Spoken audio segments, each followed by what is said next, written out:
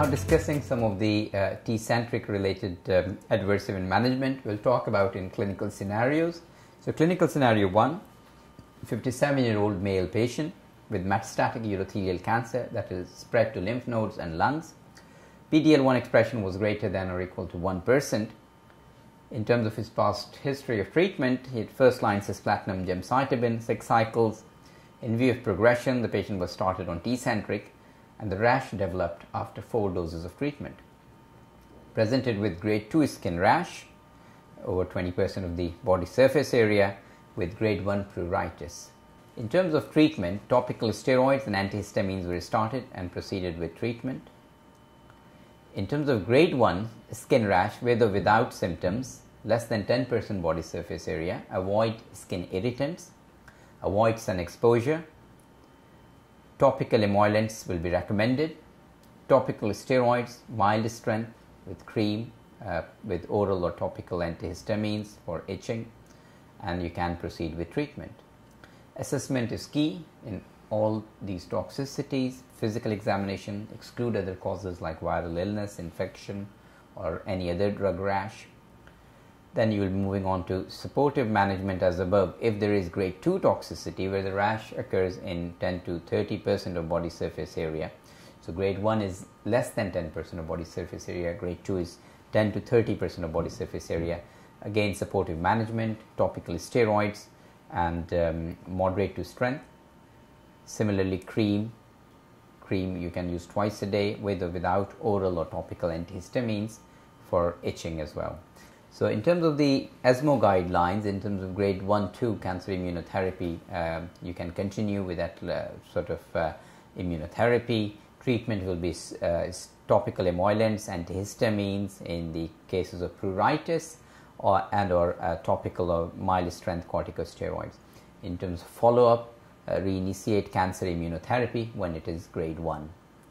For grade 3 rash, you will interrupt the treatment, start immediately and uh, treatment with topical emollients, antihistamines, and high strength corticosteroids. And you can reinitiate cancer immunotherapy when the rash has resolved. For grade 4 toxicity, you will be permanently discontinuing the immune uh, checkpoint inhibitor treatment. You will seek der- uh, urgent dermatology colleagues' help and start intravenous corticosteroids 1 to 2 milligram per kilogram methylprednisolone and then taper based on response to the adverse events. So, again, uh, identifying the toxicity and managing it appropriately is key to improved outcome with these drugs. In terms of second clinical scenario, a 54 year old female patient with metastatic urothelial cancer to lymph nodes, lungs, and liver. She had stable disease with carboplatin and gemcitabine for three cycles, then progressed after six cycles and started on second line Tecentriq treatment the presentation showed routine TSH showed low TSH, heart rate was 100 beats per minute with intermittent palpitations. Additional blood tests showed a very low TSH at 0.002 with the normal range is 0.46 to 4.70. Uh, free T4 was 5.1, free T3 was 1405 with a normal range of 250 to 390.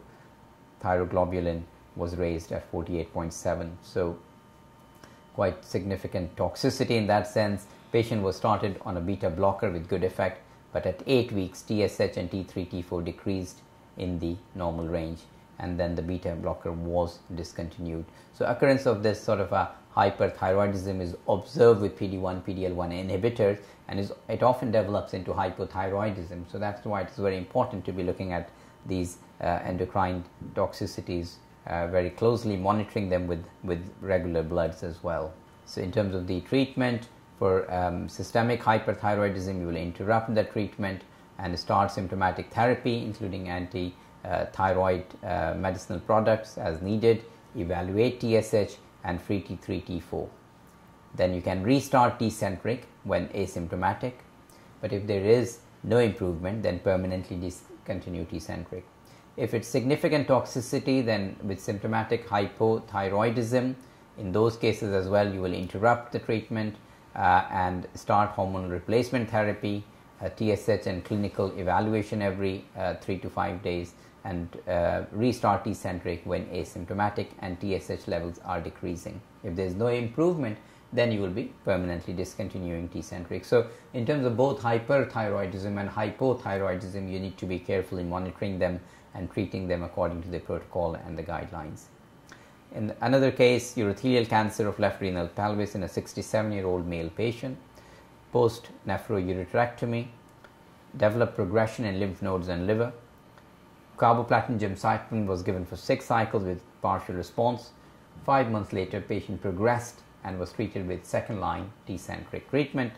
Developed dyspnea and fatigue, pulse oximetry showed 84% uh, oxygen saturation, and there was grade 3 pneumonitis at 6 weeks. Patient was admitted to the hospital and started on supplemental oxygen uh, and 2 milligram per kilogram per day of prednisolone. Uh, patient experienced immediate relief of dyspnea and initial partial resolution of the pulmonary infiltrates Bronchoscopy and lung biopsy were considered but not performed because the clinical course and immediate response to steroids were consistent with immune related pneumonitis. The steroids were slowly tapered over one month and Tecentriq was permanently discontinued. In a, in a sort of a clinical scenario for a 60 year old female patient with metastatic urothelial cancer, post first line cisplatin gemcitabine chemotherapy progressed after within six months and was started on second line Tecentriq treatment. Grade 2 diarrhea occurred 6 bowel movements per day over 3 days prior to fourth dose of Tecentriq. Diarrhea occurred nocturnally as well and was associated with crampy abdominal pain. Next dose of Tecentriq was postponed and prednisolone was initiated 1 milligram per kilogram per day. IV fluids as an outpatient 3 days per week. Prednisolone was slowly tapered over 4 weeks with full resolution of the colitis. Tecentriq was reinitiated after resolution of the colitis. And the way you will be treating grade 2, you will be interrupting the dose, starting them on um, steroids, and then reassessing them, and you can resume Tecentriq if the uh, colitis grade is uh, 1 within 12 weeks. For grade 3, you will interrupt, initiate again symptomatic treatment, monitoring them very, uh, monitoring them daily, treating them with 1 milligram, 1 to 2 milligram per kilogram per day of intravenous uh, methyl prednisolone or equivalent, followed by 1 to 2 milligram per kilogram per day prednisolone equivalent upon improvement. Uh, you will reassess after 3 to 5 days, resume Tecentriq if the uh, grade is less than uh, becomes less than 1, grade is 1 or within 12 weeks. Treat as grade 4 if there is no improvement. For grade 4, you will be permanently discontinuing the Tecentriq treatment, initiating symptomatic treatment and monitoring them daily, considering endoscopy with biopsy, treating with 1 to 2 milligram per kilogram per day of IV methylprednisolone or equivalent, followed by 1 to 2 milligram per kilogram per day uh, methylprednisolone uh, or equivalent upon improvement.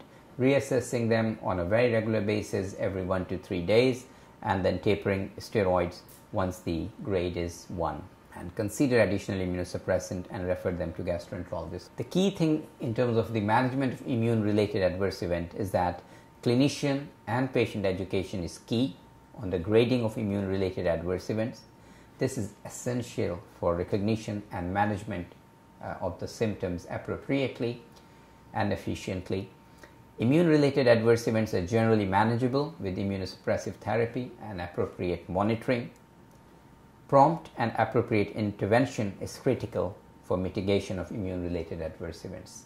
So, this can be delivered safely, but we require uh, a number of our other consultant colleagues and we all working together in providing the best care for our patients for these drugs as well.